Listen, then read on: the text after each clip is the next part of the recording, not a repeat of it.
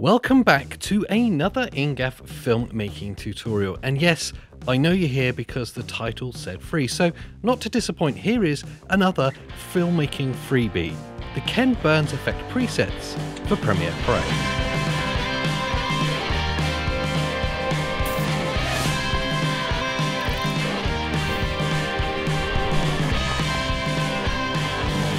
In my one-man mission to bankrupt Pete, on top of giving away all of the filmmaking gear that he buys to review, I'm continuing to make these filmmaking presets, these free downloads, presets, and templates to help you, my fellow cheapskate filmmakers. This week's preset is a set of fake camera movements known as the Ken Burns effect.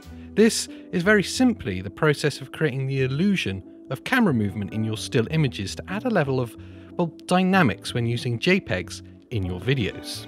In truth, this is a fairly simple effect to achieve, but I know you're here because you're like Pete and lazy at heart, so this preset will do all the heavy lifting for you. So first up, make sure you've got the preset downloaded from our website. It is totally free, but be sure you sign up to the email newsletter so I can fill your inbox full of watermelon spam.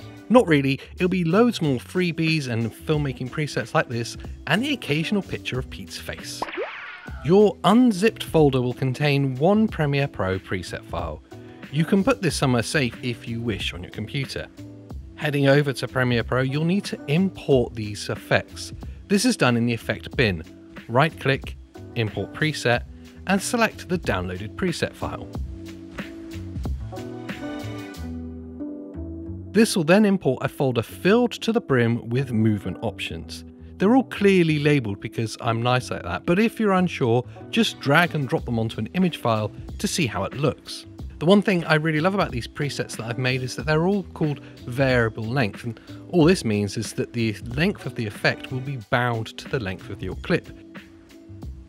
So, as I say, if you extend the length of your clip and then drop your preset onto it, the length of that movement will just match up to the length of the clip.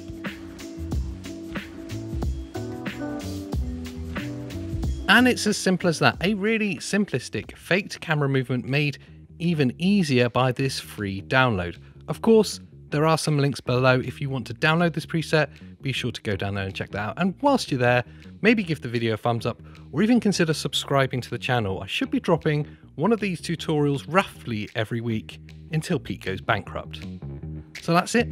Thanks for watching and we'll see you next time.